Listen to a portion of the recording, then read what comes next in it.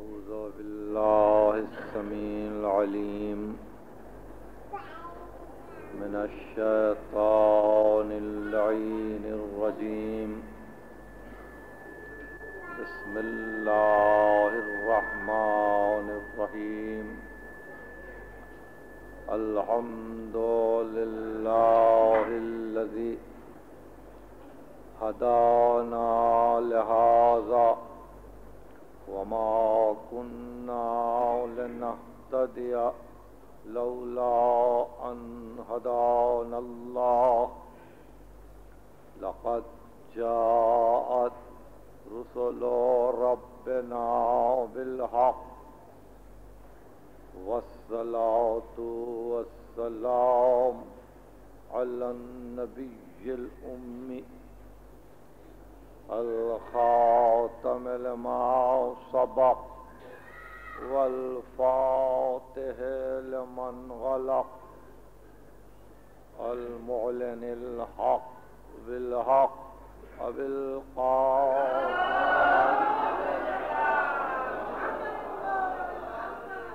أهل بيته الطيبين الطاهرين الأرض المعصومين المظلومين الذين أذهب الله عنهم الرجس وطهرهم تطهيرا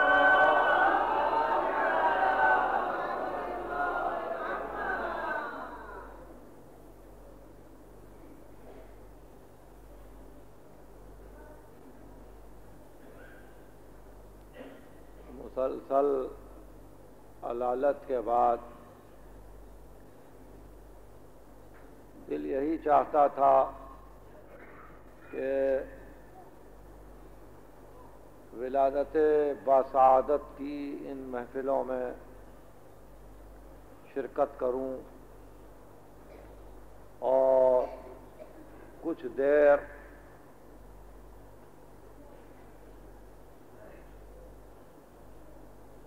آپ کی فکر و نظر کو مصروف رکھوں۔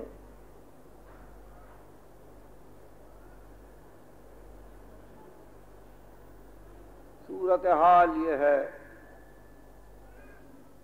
کہ بارہ ربیع الاول کو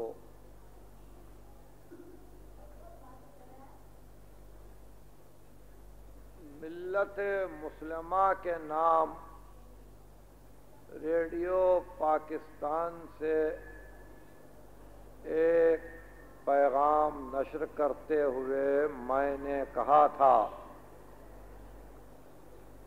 کہ یہ امر واقعی قابل صد غور و فکر ہے کہ مسلمان یقین رکھتا ہے اس بات پر کہ قرآن معجزہ ہے۔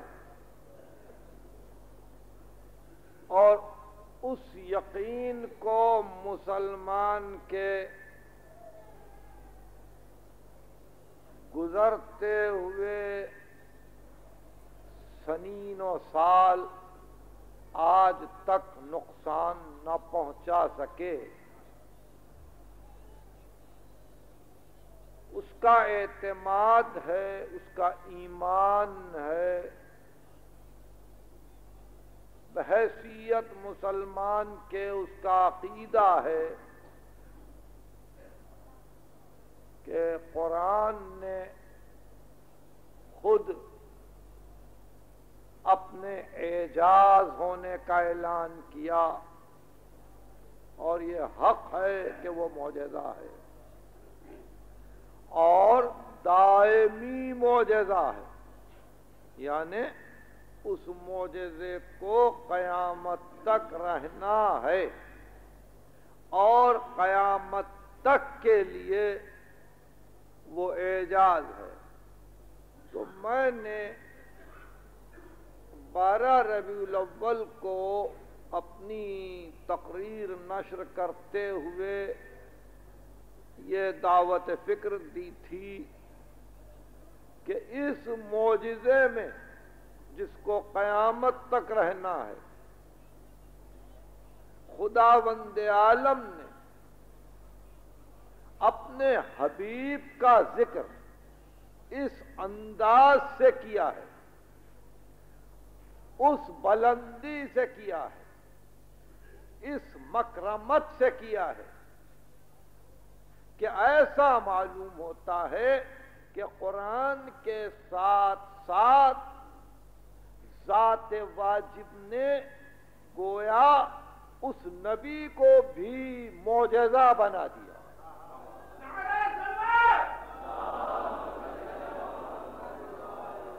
میرے ان جملوں پر غور کیجیے، قرآن موجزہ ہے اور دائمی موجزہ ہے۔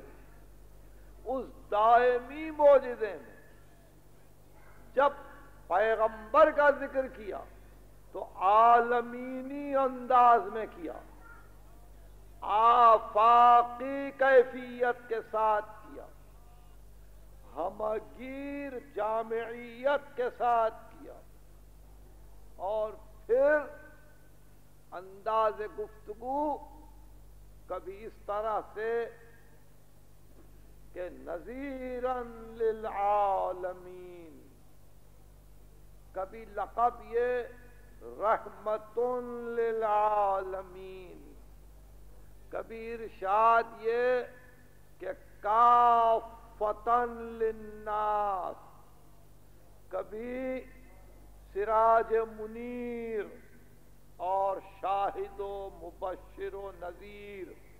یعنی ایسے محیط القاب دیے گئے کہ جس سے پتا چلتا ہے کہ اس باقی رہنے والے معجزے میں جب اپنے حبیب کا ذکر عالمینی پیرائے میں کیا، تو یقیناً اس نبی کی وہ تیئیس برس کی زندگی ہی سامنے نہیں ہے کہ جس تیئیس برس میں نبوت کا کام ختم کر کے پیغمبر دنیا سے چلے گئے۔ اگر قرآن نے فقط وہ تیئیس برس کی زندگی کو محفوظ کیا ہے اور اس تیئیس برس کے لیے یہ سب کچھ ہوا ہے، تو پھر بھی مسلمانوں کو یہ سمجھنا چاہیے کہ وہ کس قدر کے تیئیس برس ہوں گے۔ وہ کس ویلیو کے تیئیس برس ہوں گے کہ جس جن تیئیس برس کا ذکر قیامت تک کے لیے عالمینی انداز میں ملت تک پہنچایا گیا اور ارشاد ہوا کہ وہ تیئیس برس کی خدمت نہیں تھی، بلکہ عالمین کے لیے ایک رحمت تھی۔ اور ہے اور رہے گی۔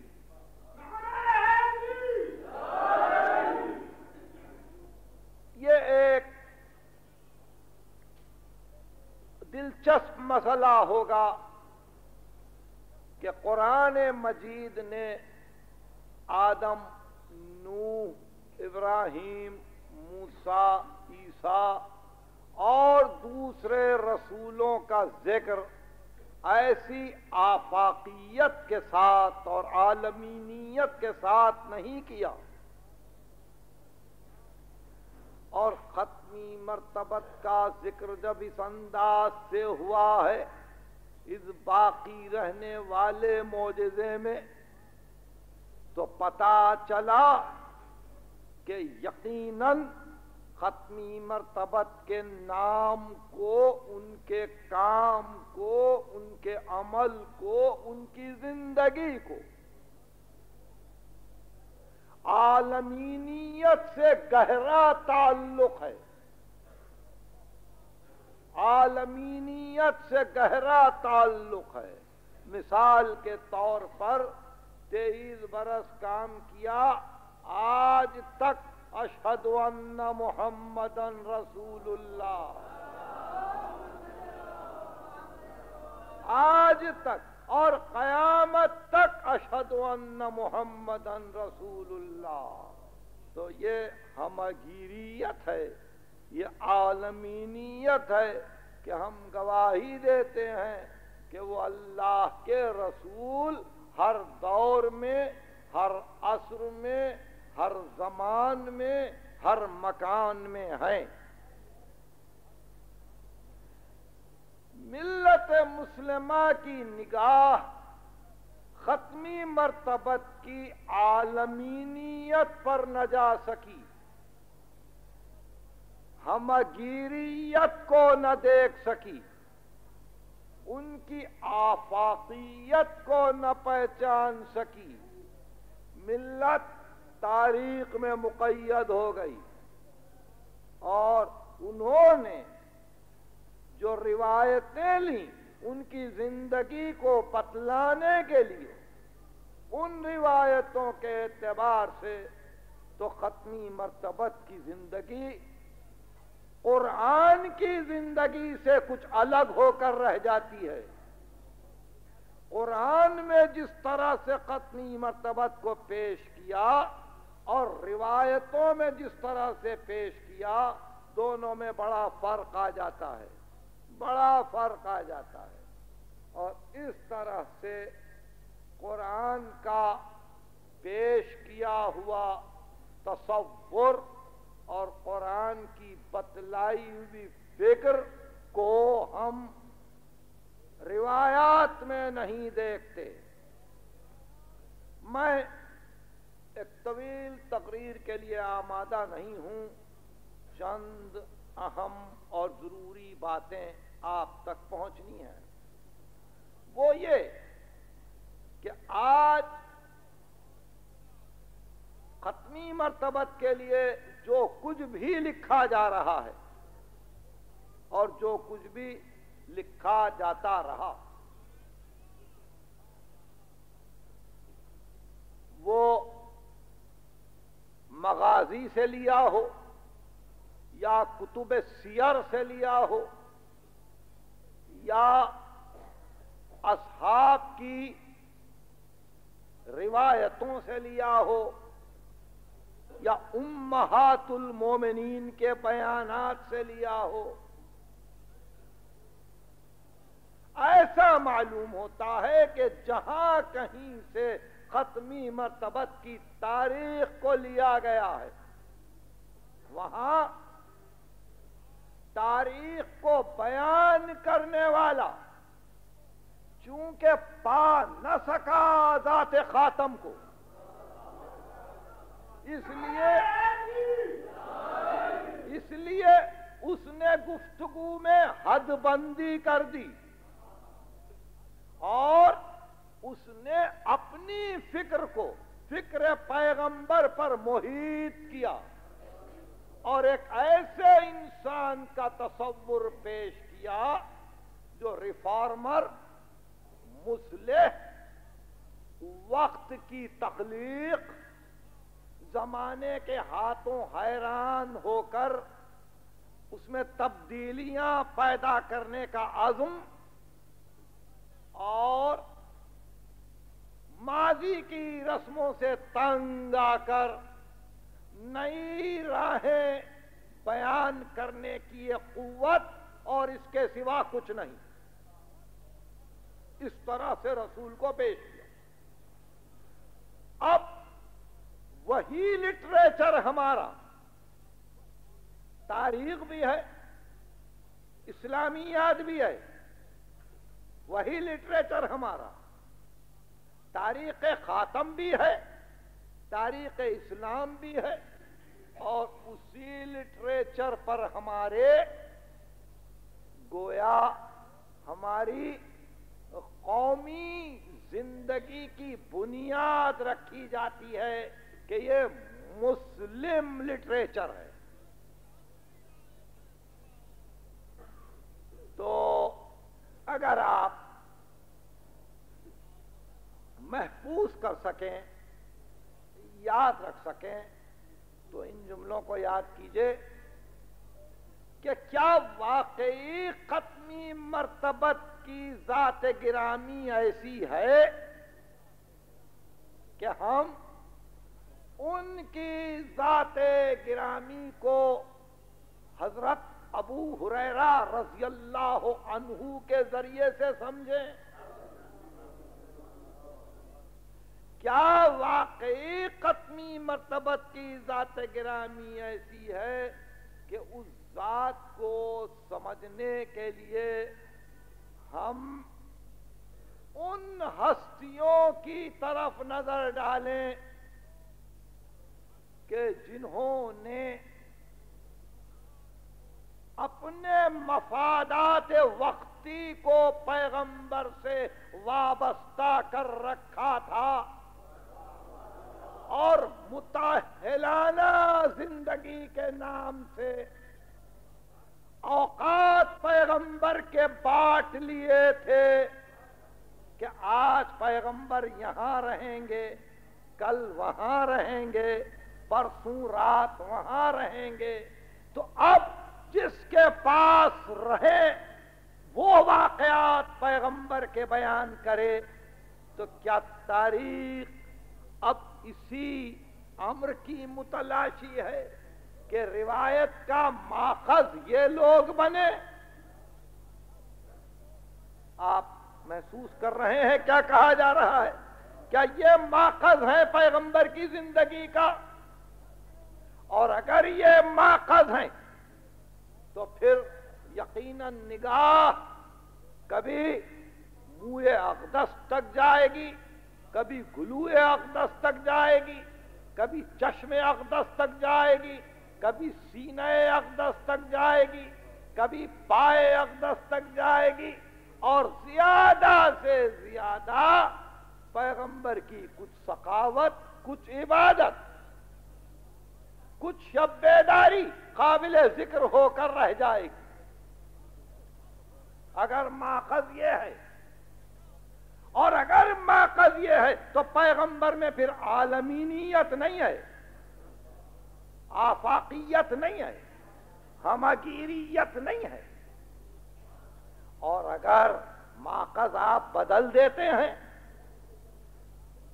یعنی اگر آپ اپنے سورسز کو بدل دیتے ہیں کہ ہم کن ذرائع سے پیغمبر کی زندگی کو لیں، تو یقیناً آپ کو فائدہ ہوگا۔ فائدہ ہوگا۔ تو سورسز ہمارے پاس بھی ہیں۔ اور پہلا سورس پہلا ماخذ کہ جس نے پیغمبر کی زندگی کو پیش کیا، وہ قرآن ہے۔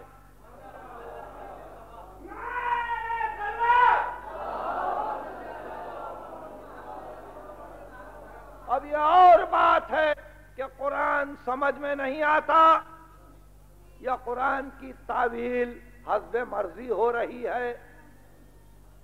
وہ اور بات۔ مگر قرآن کو اس اعتبار سے پڑھنا کہ جیسے ترجمہ کوئی کر لے، صرف ترجمہ۔ تو کم از کم اس کے لیے تو ملت تیار ہو۔ اس کے لیے تو ملت تیار ہو۔ انگریز آتھرس نے قرآن کی تفسیر کرتے ہوئے جب مقدمہ لکھا پیغمبر پر انٹروڈکٹری نوٹ لکھا پامر نے خصوصاً، تو انہوں نے لکھا کہ ان کی ابتدائی زندگی کا تو پتا ہی نہیں۔ جوانی کے متعلق صرف اتنا جانتے ہیں کہ قتیجہ نے ان کو روشناس کروایا۔ ہم جو کچھ جانتے ہیں وہ اس دن سے جانتے ہیں جس دن سے کہ انہوں نے کہا کہ میں اللہ کا رسول ہوں۔ پامر نے بھی جو سورس بنایا، وہ ہماری ہی کتابوں کو بنایا۔ وہ کہیں اور نہیں گیا۔ اس نے بھی صحیح بخاری شریف کو دیکھا، اس نے بھی صحیح ترمیزی شریف کو دیکھا، اس نے بھی مختلف صحابہ کرام کی روایتوں کو سنا اور سن کر اس نے یہ رائے قائم کی کہ ابتدائی زندگی کے متعلق تو کچھ نہیں کہہ سکتے۔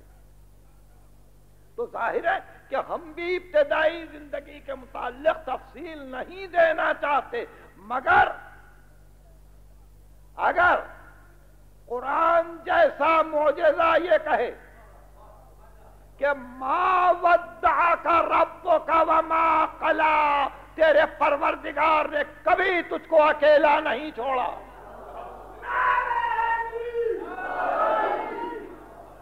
تیرے پروردگار نے تجھ کو کبھی اکیلا نہیں چھوڑا۔ تو نہ تفلی میں تنہا رہے، نہ جوانی میں تنہا رہے، نہ تجارت کے قافلے لے جاتے ہوئے تنہا رہے۔ کسی مقام پہ تنہائی ثابت نہیں ہے۔ ہم ساتھ تھے۔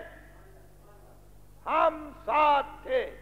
اور دوسرے مقام پر سورہ تور میں قرآن نے کہا وَاسْبِرْ لِحُکْمِ رَبِّكْ إِنَّكَ بِعَایُنَنَا ابھی نبوت آئی نہیں ہے۔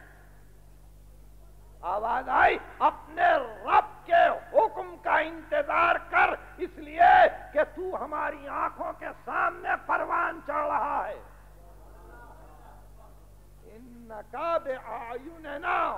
تو ہماری نگاہوں کے سامنے پروان چڑھ رہا ہے۔ تو جہاں نگاہ باری لگی ہوئی ہو، جہاں نگاہ باری ساتھ ساتھ ہو جہاں نگاہ باری کے سامنے ختمی مرتبت آگے بڑھ رہے ہوں، وہاں بے اختیار قرآن کا یہ حوالہ، ما ودع کا رب کا وما قلا، تیرے پروردگار نے کبھی تجھ کو تنہا نہیں چھوڑا۔ تو ایسے موقع پر، ایسے موقع پر زمانے قبل نبوت کا تعین۔ ملت کے لیے آج بھی حیران کن ہے۔ میرے جملے کو آپ سمجھ رہے ہیں۔ نبوت آنے سے پہلے نبی کیا تھے؟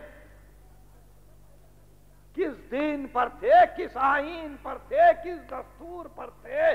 آپ کا رسم و رواج سے کیا رب تھا؟ ملت خاموش ہے۔ اور اگر قرآن پہ نظر ہوتی تو امام فخر الدین راضی ایک آیت کی تفسیر کرتے ہوئے لکھتے ہیں وہ توکل العزیز الرحیم الذی یراک ہین تقوم وہ تقلب کا فساجدی اور تو بھروسہ کر غالب رحیم پر جو تجھ کو دیکھتا ہے جب تو قیام کرتا ہے اور تجھ کو دیکھتا ہے جب تو پلٹ پلٹ کر سجدہ کرنے والوں میں آتا ہے۔ امام فخر الدین راضی نے کہا کہ اس آیت کے معنی یہ ہے کہ نور پیغمبر برابر انبیاء میں منقلب ہوتا رہا۔ تو اگر یہ آیت رہبری کرے اور قرآن جیسا معجزہ پیغمبر کی اس کیفیت کو قبل نبوت کی بیان کرے، تو ملت کے لیے چاہیے کہ ایک سلسلے سے اپنی فکر کو ایک فارمولے میں ڈالے کہ نبی کے لیے قرآن نے کیا تعریف کی ہے، کیا توصیف کی ہے۔ اس کی عالمینیت کیا ہے؟ اس کی آفاقیت کیا ہے؟ بہرحال یہ عنوان دلچسپ بھی ہے اور ذرا سا آپ کی فکر و نظر کے لیے ایک دعوت بھی کہ آخر کس مقام پر اور کیوں یہ ماخذ بدل دیے گئے؟ یعنی پیغمبر کی زندگی کو لینا تھا قرآن سے۔ بجائے اس کے پیغمبر کی زندگی کو لیا ان حلقوں سے کہ جن حلقوں سے مفادات وابستہ تھے۔ جن حلقوں سے مفادات وابستہ تھے کہ ہم کو یہ فائدہ پہنچا، ہم کو یہ فائدہ نہ پہنچ سکا۔ ہم کو اس طرح سے ہم سے سلوک کیا گیا۔ ہم سے یہ طریقہ عمل رہا۔ تو جہاں مفاد وابستہ تھا، وہاں گفتگو مفادات کی حد تک ہوئی کہ ختمی مرتبت نے اس طرح سے اپنے آپ کو پیش کیا۔ جہاں تک مکی زندگی کا تعلق ہے، آپ کو تعجب ہوگا کہ بارہ برس مکی زندگی کے تاریخ اسلام خاموش ہے۔ کبھی کبھی ایک حوالہ آتا ہے تو اس طرح سے آتا ہے، اس سن میں یہ مسلمان ہوئے، اس سن میں وہ مسلمان ہوئے۔ کبھی کبھی اگر فقہا نے زور دیا تو اتنا زور دیا کہ اس سن میں یہ تشریح ہوئی اور اس سن میں یہ حکم لازم ہوا۔ بس، اور اس کے بعد پھر خلا۔ کسی سیرت النبی کی کتاب کو اٹھا کے دیکھیے، وہ شبلی صحیح زمانے آغاز نبوت کو پھر تاریکی میں ڈال دیا گیا۔ حالانکہ زمانہ آغاز نبوت میں تو مسلسل آیتیں آ رہی تھیں۔ کم از کم آیتوں کو ماخذ بنایا جاتا۔ مگر ہوا کیا؟ ہوا یہ کہ جس طرح سے مکے والوں نے پیغمبر کو دیکھا یا کفار قریش نے دیکھا اور دیکھ کے کسی نے کہا، ساحر ان کذاب، جھوٹا جادوگر ہے۔ کسی نے کہا، معلم مجنون۔ جنون کے عالم میں اس کی تعلیم دی گئی ہے۔ جنون سے اس کو علم مل رہا ہے۔ اس پر کسی کا اثر ہے۔ کسی نے یہ کہا کہ یہ راستے سے ہٹ گیا، بہک گیا۔ تو قرآن مجید نے یہ ڈیٹا بھی کلیکٹ کیا ہے کہ اس وقت یہ کہا گیا، اس وقت یہ کہا گیا، اس وقت یہ کہا گیا۔ اور اس کے بعد یہ بتلانے کی قرآن نے کوشش کی کہ جس جس کا مفاد ٹکرا رہا تھا، اس نے یہ نام دیے۔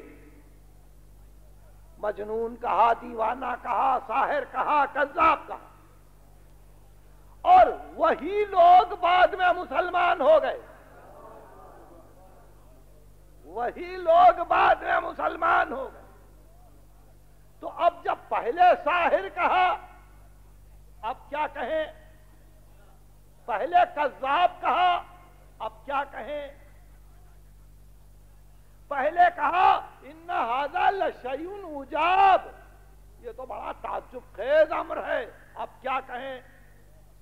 پہلے کہا، لولا نزل هذا القرآن على رجل من القریتین عظیم۔ یہ کسی مالدار آدمی پہ کیوں نہیں آیا قرآن؟ اب کیا کہیں؟ تو آپ نے دیکھا، اب تاریخ انہی لوگوں کے ہاتھ میں آئی۔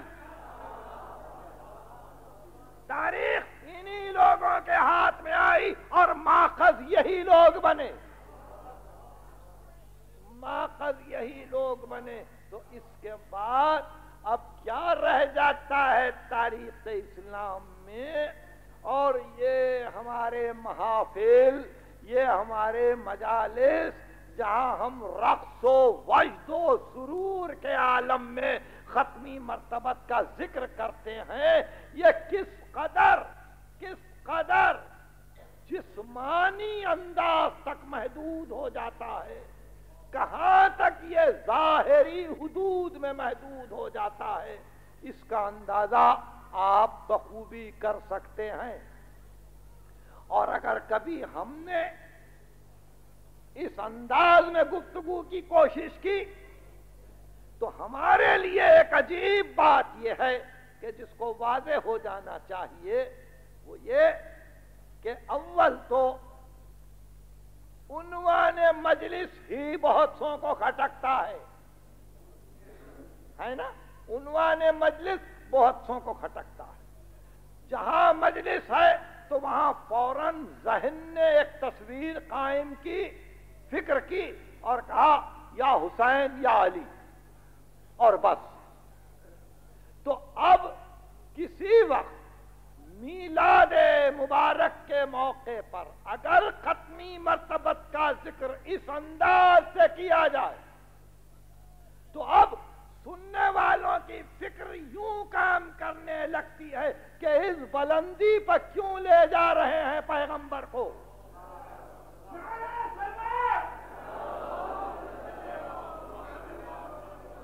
اس بلندی پر کیوں لے جا رہے ہیں؟ اور وہاں سے پھر کھوج، بھئی ہم لے جا رہے ہیں، ہم لے جا رہے ہیں۔ خدا لے جا چکا۔ ہم لے جا رہے ہیں۔ ہم نے کہا ہے رحمت للعالمین۔ ہم نے کہا ہے نذیر للعالمین۔ ہم نے کہا ہے، سراج منیر، روشن چراغ۔ روشن چراغ۔ چراغ روشن ہے تو مانا یہ کہ خود پتا چلتا ہے کہ گڑھا کدھر ہے، راستہ ہموار کہاں ہے، مکان میں کون سی چیز کہاں رکھی ہوئی ہے، کون سی چیز کیا ہے، اگر چراغ روشن ہے تو علم ہے۔ علم ہے۔ ہم نے اس عمر کی کوشش کی کہ ختمی مرتبت کو جس جس طریقے سے قرآن نے یاد کیا، اس طریقے سے ختمی مرتبت کو پیش کرنے کی ہم نے کوشش کی، میلاد ہو یا مجلس۔ تھوڑی سی توجہ کیجیے، میں تھک رہا ہوں، میں زیادہ دیر تک نہیں بولوں گا۔ ہم نے کوشش کی کہ میلاد ہو یا مجلس، اسی فکر کو پیش کیا جائے جس کو قرآن نے پیش کیا ہے۔ اگر حسین کا نام آیا، تو غیرت کی اور گھبرانے کی بات کیا تھی؟ ایک جلوہ محمد ہے۔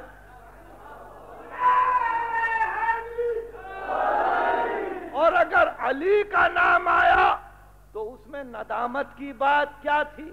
اس میں خجالت کا مقام کیا ہے؟ وہ ایک تجلی محمد ہے۔ اس طرح سے ہم نے پیش کیا تاکہ اس بلندی پر، اس بلندی پر کوئی حد نہ واقع ہو۔ اس بلندی پر کسی کی نگاہ بد نہ جائے۔ اس بلندی کو کوئی پستی سے اپنے ذہن کی نہ بدلے۔ اس لیے ہم نے اگر صفات کے ساتھ ساتھ مظاہر کو پیش کیا تو اس بلندی سے پیش کیا تاکہ آپ کے ماخذ صحیح رہیں۔ میرے الفاظ کو اب آپ سمجھ گئے یعنی آپ کے سورسز صحیح رہیں۔ اس لیے عزیزان گرامی، ہمارا اعتذار، ہماری اپولوجی آپ قبول کریں۔ ہم نے پیغمبر کی زندگی کو یا قرآن سے لیا ہے جو بے ریب ہے، یا اہل بیت سے لیا جو بے آئے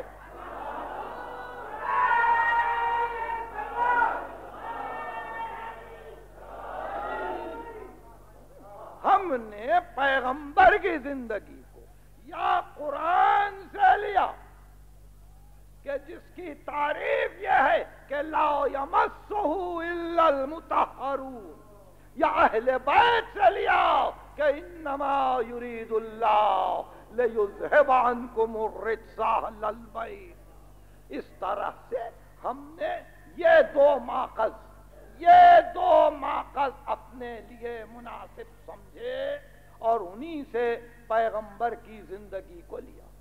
اب تقریر خاتمے پر جا رہی ہے، کچھ یاد کیجیے، کچھ سمجھیے۔ اور ہو سکے تو کل مرکزی امام بارگاہ میں میں اسی سلسلے کو خاتمے تک پہنچا سکوں گا۔ کوئی اور نئی بات تو نہیں ہے، لیکن میں چاہتا ہوں کہ آپ کے ذہن میں رہیں یہ باتیں کیونکہ اس مہینے میں آپ بہت سی محفلوں میں جائیں گے نا۔ بہت سے میلاد ایسے ہوں گے جس میں آپ شریک ہوں گے۔ ایک بات بتائیے، وہ یہ کیا پیغمبر نے یہ کہا تھا کہ میری زندگی کو فلاں صحابی سے لو؟ پیغمبر کی کوئی وسیعت ہے؟ کیا پیغمبر نے یہ کہا تھا کہ میری زندگی کے متعلق اگر معلومات کرنا ہے، میرے ان گھر والوں سے پوچھو کہ جن کے ساتھ میری زندگی بسر ہوئی، پیغمبر نے کچھ کہا؟ نہیں۔ پیغمبر ایسا کہہ نہیں سکتے تھے۔ اس لیے ایسا کہنے کے لیے بھی وہی چاہیے۔ ایسا کہنے کے لیے بھی وہی چاہیے کہ پیغمبر اپنا سورس بتلائیں اپنی زندگی کا ماخذ بتلائیں تو اس کے لیے بھی وہی آئے۔ وہی آئی۔ وہی آئی کہ کافر کہتے ہیں کہ تو مرسل نہیں ہے۔ کون تو کہہ دے کفا باللہ شہیدن بینی و بینکم ومن عنده علم الكتاب۔ میرے دو گواہ ہیں، یا خدا ہے یا عالم کتاب۔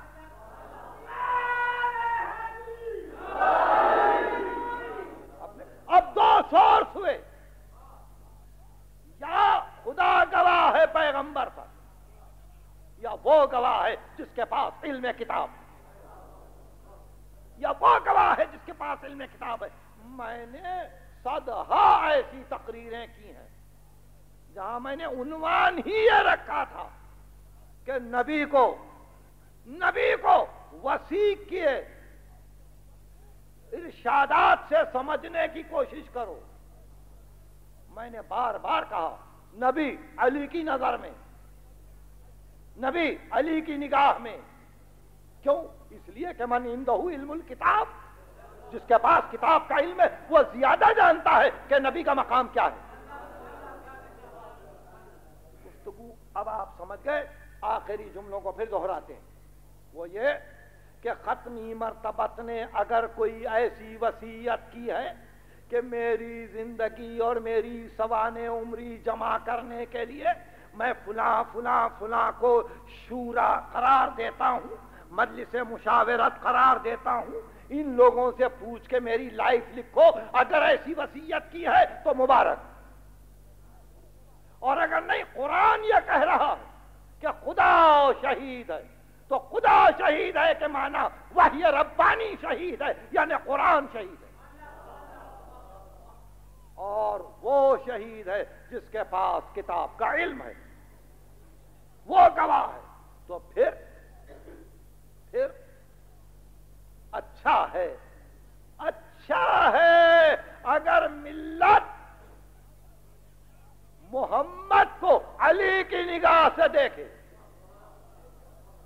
کیا خیال ہے؟ کیا خیال ہے؟ اچھا ہے نا؟ اگر ملت محمد کو علی کی نگاہ سے دیکھے۔ مگر یہ دیکھنا آسان نہیں ہے۔ یہ دیکھنا آسان نہیں ہے۔ اس لیے کہ علی کی نگاہ سے محمد کو دیکھنے کے معنی یہ ہیں کہ اپنے مفادات کو چھوڑو۔ اپنے ذاتی خواہشات کو چھوڑو۔ اور یہ معلوم کرنے کی کوشش کرو کہ تمہاری تاریخ لپٹی ہوئی ہے۔ تمہاری تاریخ رول کرتی ہے۔ تمہاری تاریخ کو لپیٹا گیا ہے۔ ملوکیت کی فکر پر۔ باتوں کو سمجھ رہے ہیں؟ نہیں۔ واقعے کو سن لیجیے۔ صاحب استیاب نے ابو سفیان کی تاریخ لکھی ہے مختصر سی۔ اور اس تاریخ میں لکھا ہے کہ فتح مکہ کے دن جب بارہ ہزار کا لشکر لیے ہوئے ختمی مرتبت مکے کے دروازے پر پہنچے۔ تو ابو سفیان نے عباس ابن عبد المطلب کا ہاتھ جھنجوڑ کر کہا لقد سارا ملک ابن ام کا عظیمہ کہ تیرے چچاز ابن عباس سے کہا کہ تیرے چچازاد بھائی کا ملک تو بہت بڑا ہو گیا، بہت بڑا ہو گیا ملک تو عبداللہ ابن عباس نے کہا، ملک نہیں، نبوت۔ وہ ہے نگاہ ابو سفیان، جو ملک کے ساتھ لپٹی ہوئی ہے۔ تلواروں کو دیکھا، فوجوں کو دیکھا، حملے کی قوتوں کو دیکھا، بدر کی شکست کو دیکھا۔ خیبر کے مارکے کو دیکھا، اب فتح مکہ کو دیکھ رہا ہے۔ تو تاریخ محمد لپٹ گئی۔ ان کی نگاہوں میں فتوحات کے ساتھ اب وہ ابو سفیانی نگاہ تاریخ میں جہاں تک جائے گی جہاں تک جائے گی اسلام کی تاریخ بس یہی رہے گی کہ یہ فتح ہوا یہ فتح ہوا یہ فتح ہوا اور یہاں تک پہنچے اور ہارٹ آف یورپ میں آ گئے اسپین تک پہنچ گئے اور پھر اور پھر جہاں جہاں سے واپس ہوئے۔ وہاں سے تاریخ بھی واپس ہوئی۔ تاریخ بھی واپس ہوئی۔ تو اب اگر اسلام نام ہے، اس تاریخ کا جو فتح کے ساتھ پھیلے اور شکست کے ساتھ سمٹے، تو پھر یہ دین کی تاریخ نہیں ہے۔ یہ دین کی تاریخ نہیں ہے، یہ تو شاہی کی تاریخ ہے۔ تو اس اعتبار جس نے ختمی مرتبت کے جلال کو مدنی فتوحات میں دیکھ کر ان کو ملک کے ساتھ وابستہ کر دیا، اس نے ملکوت پیغمبر کو نہیں دیکھا۔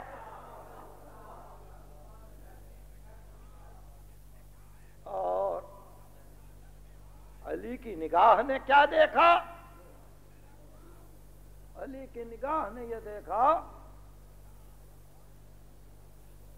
کہ بظاہر جب بھائی کو غسل دے چکے، کفن پہنا چکے، تو جسد اقدس پیغمبر کو فاتح خیبر نے اپنے ہاتھوں پر اٹھا لیا۔ اور آواز دی اللہم ہاضا اول العدد وہ صاحب العبد. پروردگار، یہ تیری گنتی کا پہلا عدد ہے، یہ تیری ابدیت کا ساتھی ہے۔ میں اسی جملے پہ آ رہا ہوں، یہ علی کی نگاہ ہے روح نسخت الاحدیت فی اللہ۔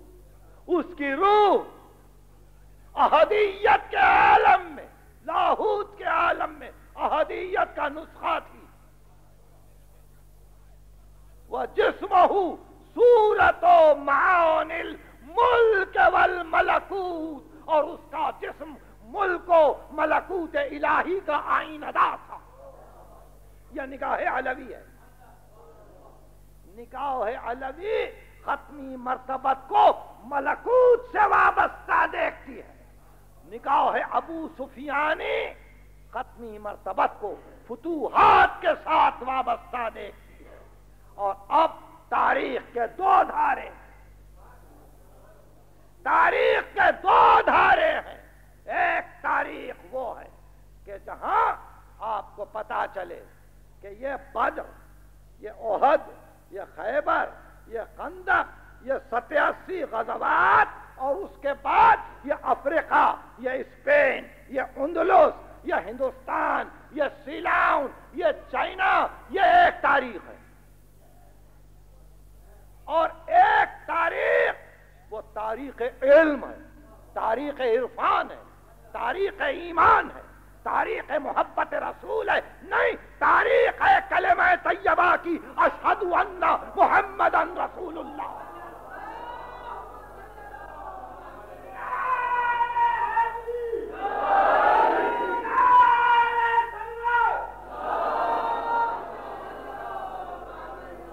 بہرحال، یہ فکر بہت عمیق ہو جاتی ہے اور میں کبھی نہیں چاہوں گا کہ اس سے زیادہ آپ کا وقت لیا جائے۔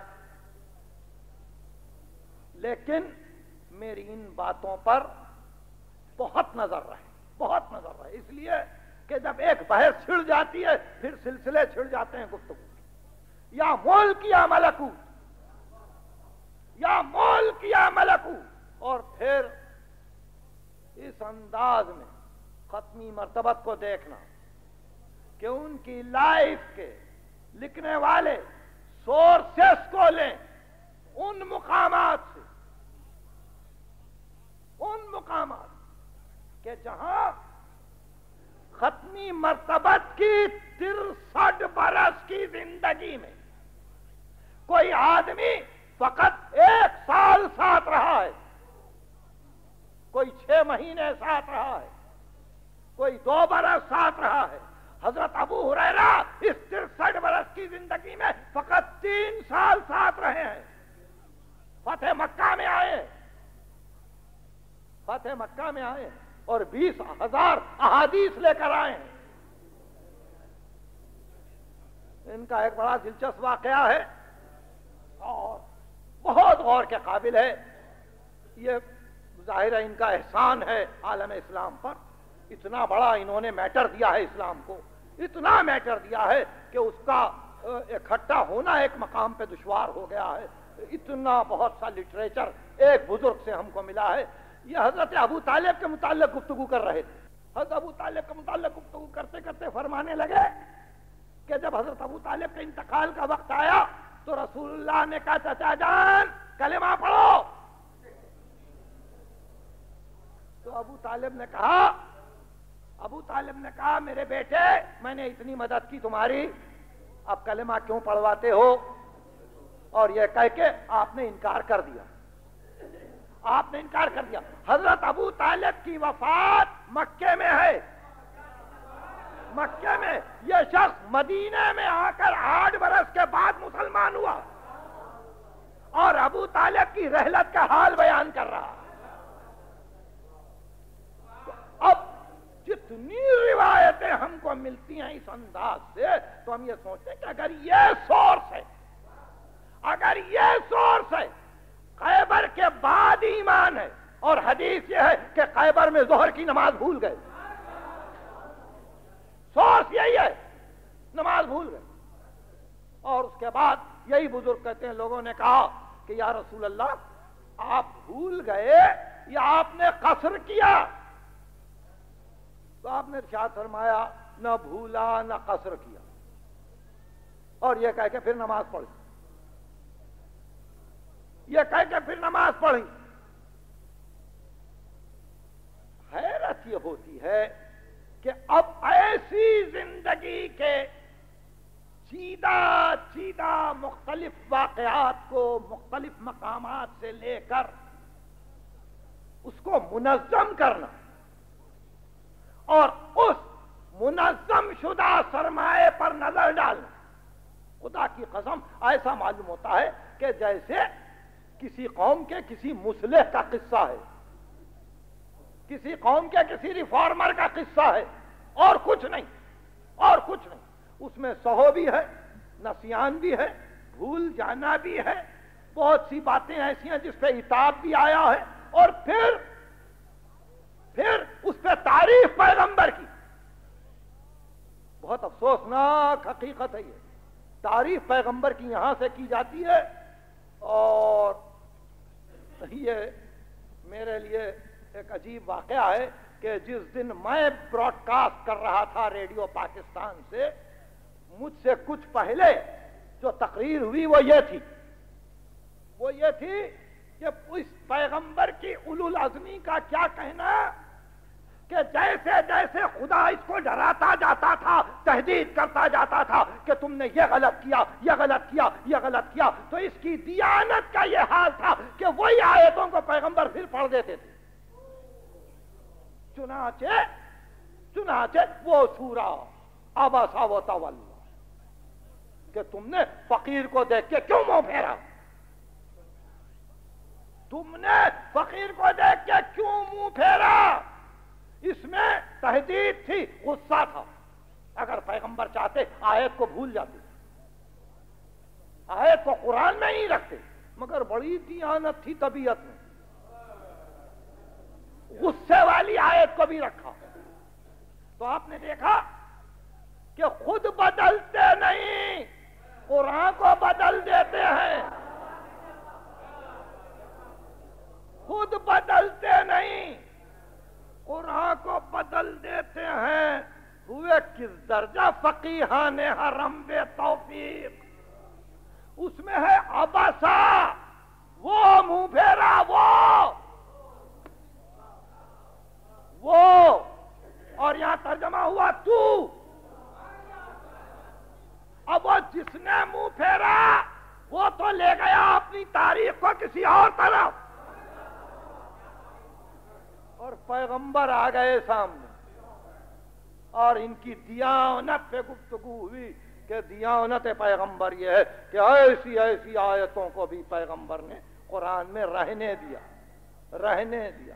تو اب اس انداز سے جہاں جہاں محفلوں میں تذکرے ہوں گے، وہاں ملت کا صحیح معنی میں مرکز فکر متزلزل رہے۔ اور صحیح معنی میں میں تو یہ کہتا ہوں کہ ملت کی ترقیوں کا گلا گھونٹا جائے گا۔ کہ جس ملت کو واقعی اس ترقی کی منزل پر جانا چاہیے، یہ دیکھ کر کہ اس کا رہبر ایسا ہے، اس کا پیغمبر ایسا ہے، اس کا لیڈر ایسا ہے۔ وہاں جو لائف آئی سامنے تو اس طرح سے آئی۔ اس طرح سے آئی۔ تقریر ختم ہوئی۔ آخری جملے۔ گھرانے نے یہ جد و جہد کی کہ یہ دنیا تو لپٹے گی ملک کے ساتھ اور ہم جائیں گے ملکوت کے ساتھ۔ ہم جائیں گے ملکوت کے ساتھ۔ تو فرق کیا تھا؟ فرق یہ تھا کہ منصور دوانقی کی دربار میں دس ہزار مرتبہ۔ ایک محفل میں محمد محمد محمد محمد کا نام آتا۔ منصور دوانقی کے دربار اور امام صادق کے سامنے نام آیا۔ آپ نے سر جھکا کے کہا اللہ صلی علی محمد محمد.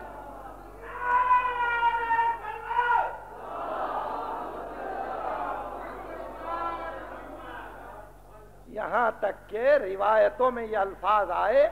کہ اپنے جد کا نام جب لیا جاتا تو سر کو اتنا جھکاتے اتنا جھکاتے کہ دیکھنے والے یہ سمجھتے شاید سجدہ کریں گے۔ یہ عظمت ہے۔ یہ عظمت ہے۔ سر کو اتنا جھکاتے کہ دیکھنے والے سمجھتے سجدہ کریں گے۔ اب بھی یہ دو راہیں تمہارے سامنے ہیں۔ ایک منصور کا طریقہ فکر ہے، ایک صادق آل محمد کا طریقہ فکر ہے۔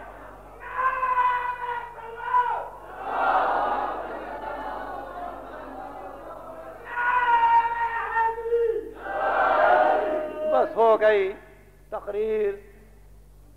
ان صلواتنا علیکم وما قصنا به من ولایتکم۔ وجعل صلواتنا علیکم وما قصنا به من ولایتکم طیبا لقلقنا وطهارة لأنفسنا وتسکیة لنا وکفارة لذنوبنا ہم جب آپ پر درود بھیجتے ہیں تو ہماری محبت اور ہمارے درود کو اللہ نے ہماری ولادت کی طہارت کا ذریعہ بنایا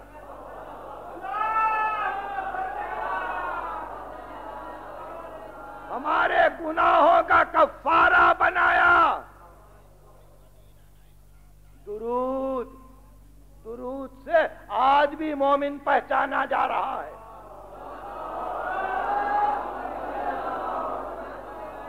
میری باتیں آپ سمجھ رہے ہیں؟ کہیں اور ہے یہ فخر آپ کو؟ کسی اور جگہ بھی آپ نے دیکھا ہے کہ صرف نام زبان پر آئے۔ تو سننے والے کس شوق سے سر جھکاتے ہیں؟ کیوں؟ کیوں؟ اس لیے کہ یہ شکر کرنے والے بندے ہیں۔ شکر گزار بندے ہیں۔ یہ نا شکر گزار نہیں ہے پیغمبر نے جاہلیت سے ہٹایا ہے، دین دیا ہے، آئین دیا ہے، دستور دیا ہے، نام دیا ہے، عزت دی ہے، شریعت دی ہے۔ اللہم صلی علی محمد۔ تو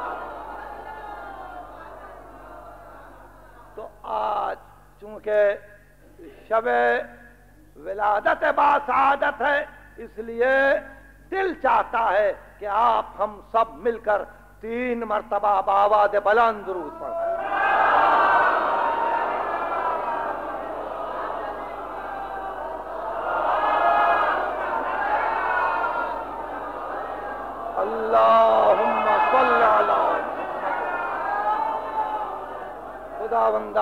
واسطہ محمد و آل محمد کا ہمارے گناہوں کو بخش دے۔